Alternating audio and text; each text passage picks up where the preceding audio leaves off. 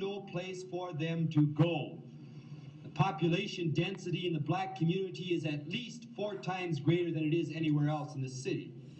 But the discrimination, even on the fringe areas, is terrific.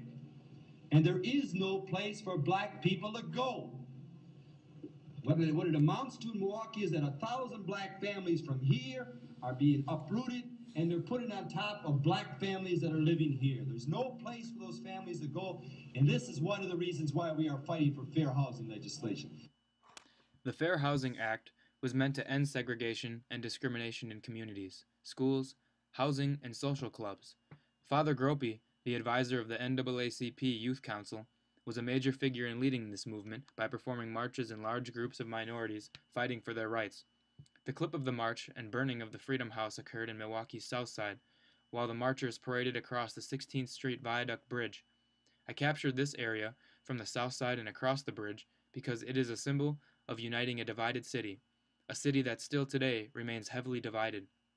So why is Milwaukee still one of the most segregated cities in America? It goes back to Father Groppi's speech in the beginning of this presentation. Society has created such heavily populated and segregated communities to the point that society loses interaction with these communities. They are considered taboo for whites and looked at as ghettos.